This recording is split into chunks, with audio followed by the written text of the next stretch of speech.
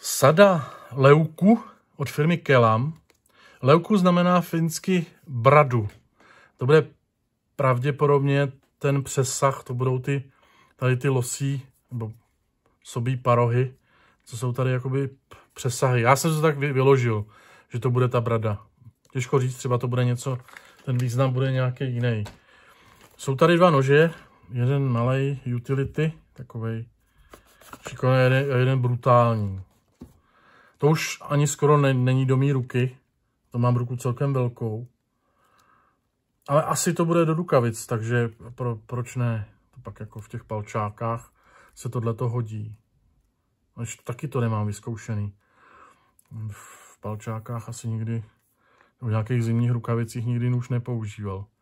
A proto budu spolehat na to, že o tom vědí víc ve Finsku než já. A vědí to už staletí.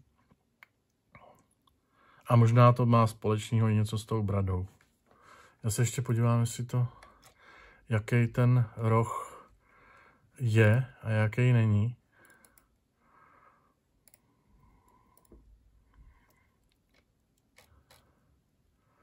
Sobí roh.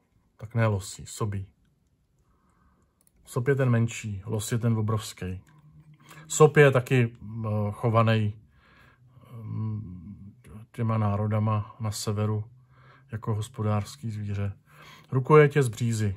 Z, takový kudrnatý, oni píšou kudrnatá bříza.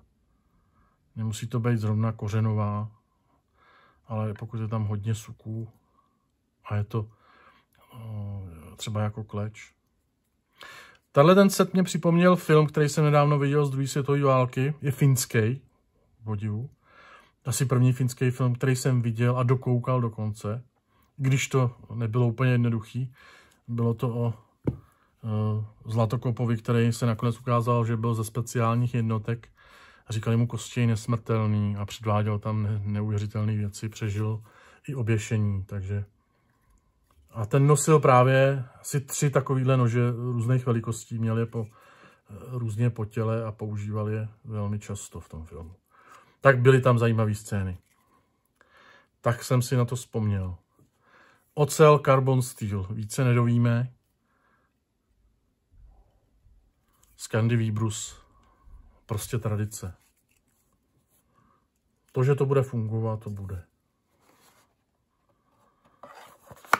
Pouzdro taky typicky severský, skandinávský. Závěs na Pandavo.